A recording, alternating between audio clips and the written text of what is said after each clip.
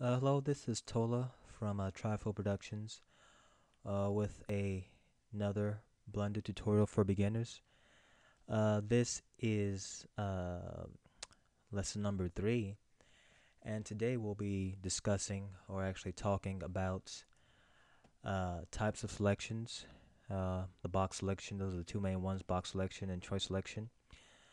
keyboard shortcuts B and C We'll also be talking about modifiers, which would include the mirror, subsurf, subsurf, sorry about that, and solidify, and other keyboard shortcuts would, would which would be Control R, which is loop cut, E for extrude, Z for wireframe mode, F for adding faces to your meshes, and holding down the Alt key and right mouse button for loop select. Okay, uh, I thought that for this tutorial we could probably model something uh, just to uh, demonstrate the use of the modifiers and the keyboard shortcuts. And I just thought, you know, the simplest thing to uh, probably modify or actually uh, uh, make at this point would be a bowl. So I just found this bowl online. It's a basic bowl, looks like it's made out of wood, which looks pretty cool. So I thought we could uh, actually make that and make use of the modifiers. So let's get started. Uh, right now, uh, I'm using Blender 2.65a. Uh, you might be using a, a, later version. The latest version out right now is 2.66. If you don't have Blender, just go to blender.org and uh, download it straight from the website, and it's free. It's a pretty great tool to use. Really, really, really great software.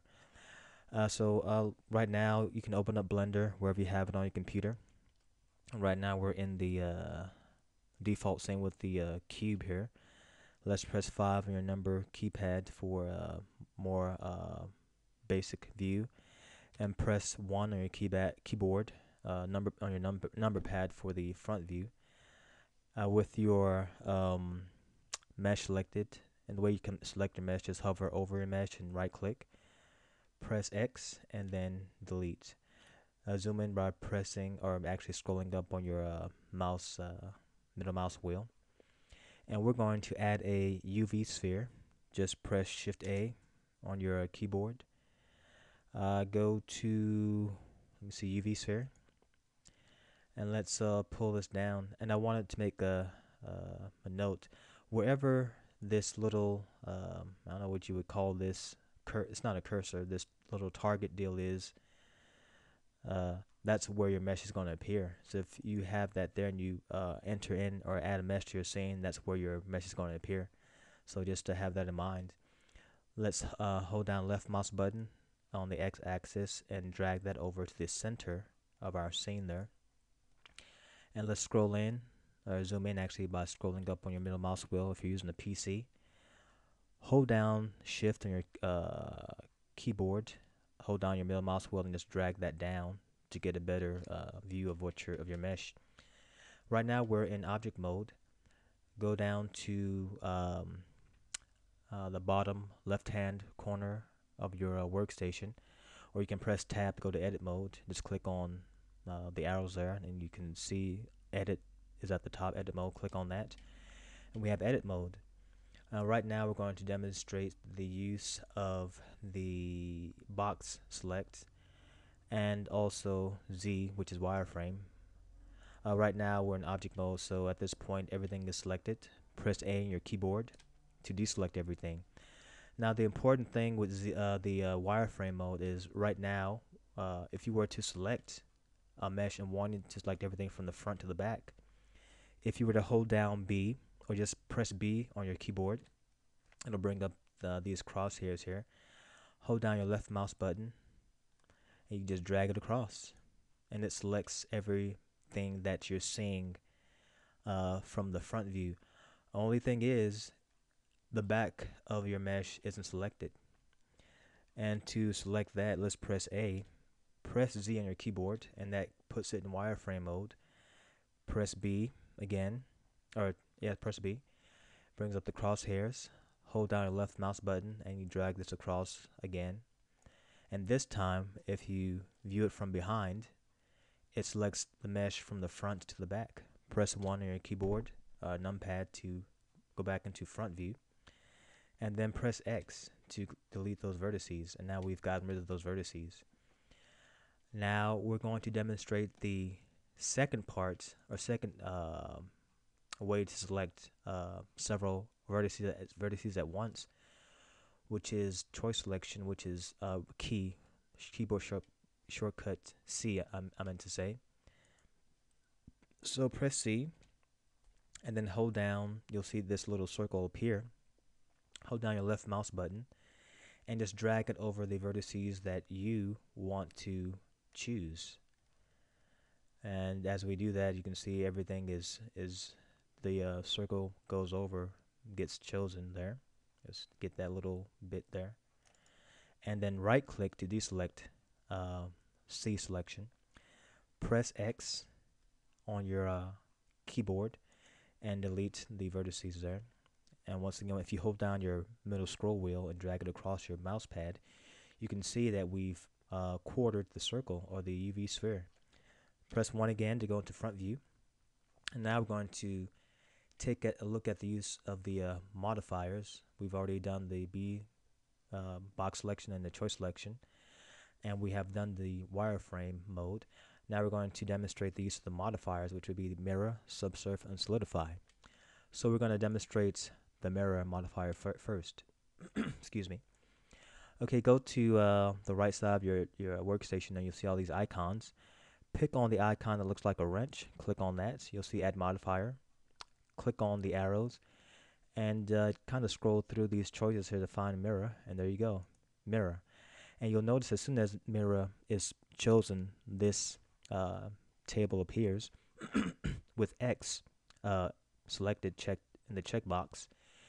And you'll see in your workstation um, your mesh has been duplicated or mirrored on the left side by this grayer lighter version of what's on this side which means that now this has been mirrored which is pretty helpful. Because whatever you do on the right side of your mesh will be done on the left side automatically. For example if you move any vertices the same thing happens there. Control Z to undo your um, your uh, to undo those uh, moves there. And now that we've uh, mirrored our mesh there. Let's get out of wireframe mode Z and it, you'll notice that um, our mesh is pretty, uh, I guess you could use the term choppy or rough. In order to fix that, all we have to do is go to the uh, left side of our tab here and actually if we click on shading oh let's go to get out of edit mode first by going down to our tab here and click on object, go back to object mode. And then as we scroll up, we'll see shading. Under shading, there's smooth and flats. Right now it's in flats, uh, the flat perspective. but if we click on smooth, it smooths out our mesh. Now, if you don't see this tab here, this tool tab, just press T or hover your mouse over the uh, plus sign and then left click and then you get your, your tool tab there. Now we've taken a look at the mirror modifier. Let's take a look at the subsurf and the solidify modifier. Now we have our general basic shape of a bowl here. Let's press 1 again. And let's uh, go back to our modifiers here. And let's click solidify. now if you hold down your middle mouse scroll wheel and drag it, you'll see that there has been a little bit of uh, uh, thickness added to the bowl. Now in order to make the thickness or increase the thickness, just go over to solidify in your uh, modifier uh, tab table here. I've uh, seen that point one is probably a good uh, integer to use for this. Let's add that in point one. And you'll see instantly that the bowl has been thickened here to match the uh, thickness of our uh, bowl that we found online. And I forgot to note, whenever you model anything, person, places, things, wherever it is, make sure you get as many reference pictures as possible uh, in order to make your object look as real as possible. And that's what we've done here by uh, getting this bowl. Okay, let's uh, minimize that. And on the mirror, make sure you click check clipping that way, whenever uh, any vertices, let's go back to the front view by pressing 1 and then uh, edit mode. Whenever any of these vertices touch each other, they'll stick. As you notice, it's not doing anything because now they've been merged together. So even if you were to pull this apart, if if clipping wasn't activated, if you were to pull this apart, it would there'd be a big hole there. But since we've checked clipping, now we have one complete solid mesh, which is what we want. Let's tab out of edit mode again by going to object mode. Tab is a keyboard shortcut for edit and object mode also. So now we've uh, done solidify. And now let's uh, look at the third modifier, which is subsurf, which actually makes your meshes much smoother. So now we go to our uh, modifier here, and let's click on subsurf. And as you can see instantly, our bowl becomes smooth. And to increase the smoothness of your mesh, you just uh, increase the number of the renders and also with the view and instantly your bowl becomes uh, a lot better looking, a lot smoother. Uh, but as you can see from our reference picture, the lip is a, a bit sharper there. So what we can do to uh, achieve that goal with our uh, mesh, go into edit mode, and we're going to demonstrate the use of the loop cut, which is Control R. Uh, let me pause the recorder because um, I'm actually doing several things at once, which is probably not a good thing. But uh, hello, uh, back again. Sorry about that. I'm cooking and cleaning and doing a tutorial at the same time. Multitasking. Sometimes it's good and sometimes it isn't. Uh, but like I mentioned before, we're going to go and uh, actually check out the use of the loop cut, which is keyboard shortcut control plus plus R. So what you do is you hover your mouse over this area where you want your loop cut to be. Press and hold down control and R on your keyboard and then you'll see this pink line appear. You can actually choose anywhere you want after you have you know added your loop cut and we want a loop cut to be close to the top to give us that sharpened edge of the bowl. So once you've decided on where your loop cut should be, uh, press down your left mouse button and then it turns orange to show that that's the area you want your loop cut to be in then you just drag it up uh, to the point where you want it to stay and then you left click again. And as you can see from our mirrored image the edge of our bowl has now become sharpened which is what we want. So let's go back in the front view and let's do that one more time because if you look at our reference here the size of the bowl is, is pretty much kind of tapered in. So it's, it's not just beveled all the way down it's kind of tapered in there. So you want that look for our bowl. So let's add another loop cut pretty much in this area here. So control R one more time. Okay. You've got that loop cut. Left click and left click one more time. And then you want to actually press alt S to scale the uh, loop on its own axis this is another um, keyboard shortcut that I did mention. Just kind of a an, just a bonus, Alt S, and then drag your mouse up. And you can see it's actually starting to dent the bowl in, which is what we want. You want to do the same thing with these other vertices to give it us more of a smoother, uh, smoother look. You can actually uh, press Control Shift or uh, left click Shift on each one to select each one all each one uh, each one of these uh, vertices and select it all at once. But since we're just learning Blender, let's just stick with the basics. And so uh,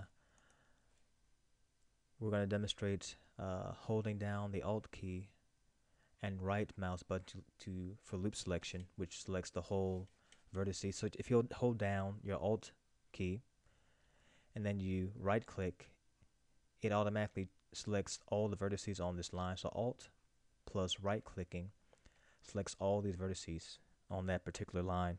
One to get that front view, then Alt S again to scale it on its own axis. Okay, now we're getting the look we're, we're wanting here. Okay, let's do it again for, uh, let me see, this top uh, top vertice, Alt S or Alt right click again, and let's pull it up a little bit because it's, it's giving us kind of a sharper, uh, sharper uh, edge in this area. And then once we pull it up on the uh, z-axis by holding down our left mouse button over the z-axis, Alt test again the skeleton on its own axis. Okay, pull it up. And then we have something somewhat of what we're still looking for. Alt S or Alt right click again to select all these vertices and let's pull this down on the z-axis just to give it a bit more smoothness. And one more time Alt right click on that vertex and Alt S again to scale it on the X axis, on its own axis I mean. And as you can tell we're getting the results that we're actually looking for. And now we've got that beveled or that uh, sloping edge uh, that we have seen and we have in our um, uh, reference picture for the bowl. Now the next part is actually getting uh, this little lip um, or support, I guess you would call it, for the bottom of the bowl. And uh, we're going to demonstrate the use of adding faces to our meshes and E for extruding uh, uh, vertices. So F is a keyboard shortcut for adding faces to a, a mesh, and E is a keyboard shortcut for uh, extruding a mesh. That's what we're going to demonstrate right now. So what we want to do is hold down Shift, and your middle mouse scroll will pull this up, drag that up, scroll up on your um, with your middle mouse scroll wheel to zoom in, and then right click on that vertice. Let's uh, take a look at that. Make sure we've select selected that. So we've right clicked on that and we're going to delete that uh, vertice. Press 1 again to go back into front view and press X on your keyboard and delete vertice. And there we go, we've deleted that. And what we're going to do now, uh, we're going to do this, do that again to get rid of these vertices also. And then we're going to go into wireframe mode so we can select all the vertices all the way through. So press Z in your, your keyboard. And then um, C or B for uh, multiple selection of vertices. And you just hold down your left mouse button, you just drag that across to select the vertices that you want to delete. Uh, right click, uh, press X on your keyboard, delete those vertices, and there we go. Let's do that again. Let's use B this time just for the sake of, I don't know, um, of change, not doing the same thing over and over. So B for box select on your keyboard, press B. Uh, hold down your left mouse button and drag that across, and there we go. Uh, and to extrude, you press E on your keyboard, and then you right click because it's the uh, or left click actually because you've already extruded those vertices. So you right left click, I mean, and then on the Z axis, hold down your left mouse button on the Z axis and pull that down. Okay, and then if we get out of wireframe mode Z, and we look, we've seen the we can see that we have the lip now but now we want it to be a little bit wider because if you look at our reference picture it's a little bit wider at the base there. So alt s again to scale on its own axis and you you drag it down okay? And you can see that the bowl has a pretty nice base. Let's let's shorten that a little bit. Left click on the mouse uh, and drag on the z-axis upwards okay? And now we have that lip there uh, if we want that lip to be a little bit sharper, remember Control R. That is loop cut. Uh, Control R to give you a loop cut. Loop cuts, when they're brought close together, they make sharper edges. So Z wireframe mode, so we can see where, what we're doing here. And uh, in this area, uh, hover your mouse over this area, press Control R, and that gives you your loop cut. Um, then you uh, left click and left click again to make sure that that selection that the selection that you want and you just drag that down. Alt s to scale it on its own axis. Scale in a little bit. Let's pull that up. Okay. Up a little bit more. And then um, left click the mouse on the z axis and pull that down again. Okay z auto let's get a wire wireframe mode by pressing z. And then as you can tell we have a sharpened, a much sharper uh, section here, more defined edge there. If you hold down your middle mouse scroll wheel and you drag it over, you'll see that there's a hole there. which we don't want because our bowl doesn't have a hole in it, so we don't want a hole in our mesh. As you can, um, well, we can't see inside the bowl, that, but that's what we're assuming there. There's no hole there. So, in order to select all those um, vertices at once, remember, according to what we're trying to learn here today, holding down the Alt key and right mouse button for loop select, a loop selection. So holding down the Alt key on your keyboard and then you press the uh, right mouse button, it selects all the vertices, and then you press F, and automatically you have faces there. So now we have a bowl with a bottom, which is what we're looking for. Press one on your number board on your uh, keyboard there, and then you've got you know what you're looking for, which is you know a bowl with a bottom. Now you might say, well, that looks kind of rough, but we can also fix that. Press tab or go into edit mode by clicking on this uh, the left bottom corner with the arrows, edit mode, and then add another loop cut. Uh, that will be Control R again. That's loop cut. Left click, left click again, and just drag it down. Oops. And there we go. Then uh, press uh, get out, go back to object mode and check out your work, and there you go. You have a bowl with a flattened base there and beveled edges, just like in our image here. There we go. And now uh, we want to actually add the texture to our bowl. And you know, like we learned in uh, lesson two, uh, all you have to do with the text adding textures is you click on this uh, material tab there, this little icon of a I don't know like a bronze ball, and you click new. And it's always good to uh, name your meshes because if you're working with a lot of meshes, you want to know which mesh which mesh is which. So I'm let's call this bowl B O W L. I think that's yeah that's bowl. Press enter. And then um, let's go to our textures tab there, and then click on new. The texture tab is this little uh, checkerboard looking um, deal here, icon, white and red. Click new, and where you see clouds on the textures, click on image. Image or movie. Then click on both so you can see uh, the texture on this side and the way the texture wraps around your uh, mesh on this this window. And then click open. Now for myself, I usually go to CG textures. If you go online, just open up your browser and type in CG uh, textures. Yeah, because I always use CG textures, so it automatically comes up for me. And then it, it has all these textures are basically free. I mean, the bigger, big, the biggest ones, they you have to pay for those. But the ones, I mean, they have a lot of good sizes, uh, a lot of different good sizes you can use in any, of your. So just go to CG textures, and you just uh, click on whatever textures you want. Uh, since that was a wooden texture, uh, you would go to, let me see, uh, wood. There it is, wood. And then it would appear here and just click through whichever woods you would like to use in the texture as opposed to going online and looking through scores of pages trying to find the best textures. Everything in, is already pretty much set up in CG textures ready to use. So just find whichever wood texture you want to use for your bowl. You don't have to use the one that I'm using, but anyone you want, you could download it yourself uh, from any website. But I use CG Textures, which is a good website to use. And we go to, let me go to where I've placed the textures, Blender textures. And let's click on this icon, these four little tile patterns here. And that shows you which textures are which. And uh, just from visual, visually seeing it.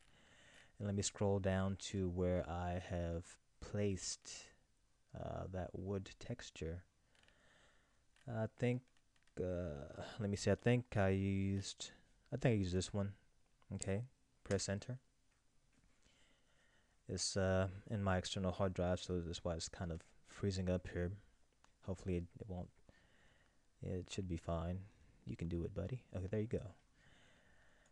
Okay, you could, the monkey shows the best uh, pattern in terms of stretching how the uh, texture contours to your mesh because there are a lot of dips and curves in the monkey's head so you can see how it's going to behave on your texture.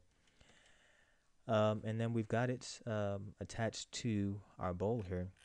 Let's uh, let's place our camera uh, so we're to the point where we can see it. So uh, left click on your camera, left hold down your left button and scroll, scroll on the x-axis. Press R rotate your camera, and then zero lets you see your uh, lets you see your mesh through the camera's uh, camera view. Okay, and um, let's go back to one from for front view. Let's pull it down on the X on the Z axis by holding down your left mouse button over the Z axis. Three on, on your numpad for the side view. Okay, it looks like it's a good view. Let's press zero again. Okay, it's a little bit too far down. And if you want to move it from, this is just an extra too, if you want to move your camera in this view, just press G for grab and whatever axis, Z, Y, X you want to move it on, that's what you press next. So Z, you want to move it on the Z axis, so press Z, and it moves it on the Z axis, okay? Let's press 3 again for the side view. Let's get some more light in here because that light's going to be kind of dim. let's get some sunlight, which is pretty strong. 7 from the top, and it's pointed straight at the bowl. Okay, to render your uh, your image, just press F12 on your keyboard, and it should render pretty quickly. Okay, there we go. That's the bowl. Uh, escape to get out of that. ESC on your keyboard to escape out of it. Uh, let's zoom in more uh, on the Y axis. Just click on Y and drag that in. Zero from uh, that view. Seven from the top. Let's let's uh, position our sun to where it really lights up the bowl really good. G to grab your sun as it's selected. R to rotate the sun. Okay, so it points right at the bowl. Uh, let's look at it from the side view C or 3 on your numpad for the side view and let's drag it back on the y-axis by holding on your left mouse button and dragging it back. And let's render that again, F12 on your keyboard. Okay, so now we've got that uh, that pattern, but it's not looking exactly the way you want it to look from this image. And the way we rectify that is pretty simple at this point in time for renders, uh, for te using textures. Select your bowl by right clicking over it with your mouse and then go to textures. And then as you scroll down it says mapping the coordinates are generated and the projection is flat. But we don't want it to be flat. We want it to be uh, a sphere. So click on sphere under mapping. And then press F12 again. You'll see a big difference yes that's a big difference but that's not the difference we we're wanting so escape from that um, I did this earlier and it was fine. Let's let's try tube. Maybe maybe that was one I selected. Let's click tube. F12 again. Let's see how that looks. Okay, that's a little bit better. It's a little bit better. Uh, let's escape from that. Um, I think we can adjust the size to like 1.5. Let's try 1.5. I think that's the uh, what I chose on the x uh, x axis. Let's press F12 again to see what that looks like. Okay. It's a little bit stretched on this side, which I don't know why it is. Um, because I, I did this tutorial, I rehearsed it earlier, had all the coordinates there and it looked fine. but uh, let's let's try let's try it again. Okay. Um, let me see. Let's try let's try cube. Maybe that's a little bit better. Click on that. F12 again. Okay, so cube was the one to choose. All right, so that gave us a pattern uh, that we needed to match the pattern that we have in the image. Even though the squares are much bigger, you can adjust the squares. Uh, there's another way to do this that's a little bit more accurate, but that's when you're more advanced. That's when you have to use um, use seams uh, and do uh, UV UV uh, mapping.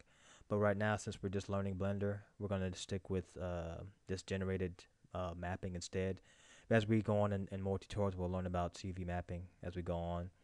But to increase those patterns, the pattern here, all you had to do is increase the size of the X and the Y.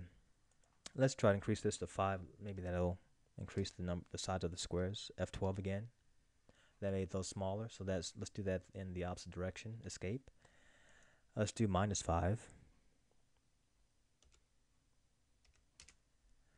F12 again. Okay, that uh, maybe we should change the Y also. Minus 5 also. Let's see how that works out. F12. And it made it much smaller. Okay. Um, let me see. Uh, let's try 1 on the x-axis. F12. Okay, we're getting closer. Okay. Uh, let's try 2. Or 3, actually. Let's try 3. F12. And it made it much smaller. I'm going, let me pause this uh, and try to get the settings uh, right here because I've done it on the other, during the practice runs and it came out fast. Let me, let me see what's going on here. Hold on for a second, please. Uh, hello, back again.